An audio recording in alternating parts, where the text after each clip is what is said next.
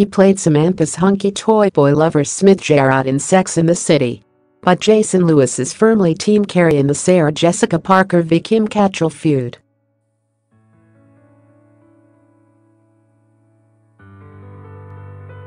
The 46-year-old made the surprise revelation during an interview with KTLA5 on Wednesday.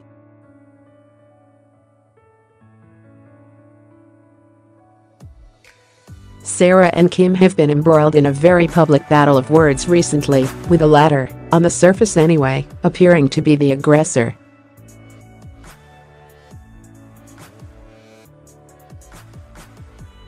But Lewis's initial opinion of the feud was, if you can't say something nice, don't say anything at all.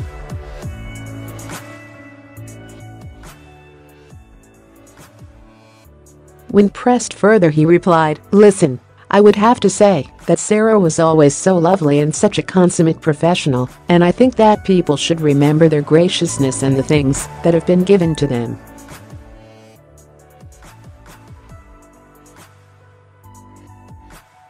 And I'm going to stop there because I've got nothing good to say. He was then asked if he had to take sides, would he choose Team Sarah?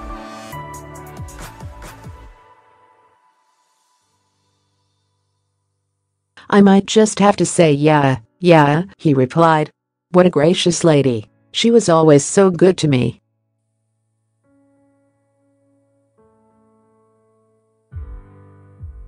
And were other people not so good to you? The interviewer followed up. After years of speculation about on-set warring between the two actresses during the sixth season and two movie run, the spat finally spilled out recently amid reports the third movie had been scuppered by Cattrall's diva demands. She denied this, claiming she simply did not want to do another movie having been isolated by her co-stars.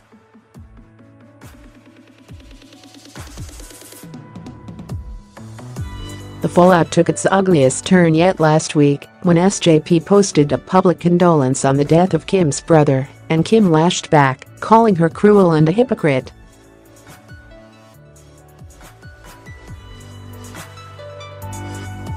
Let me make this very clear, if I haven't already.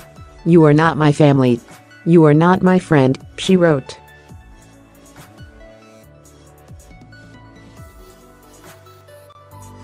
So I'm writing to tell you one last time to stop exploiting our tragedy in order to restore your nice girl persona.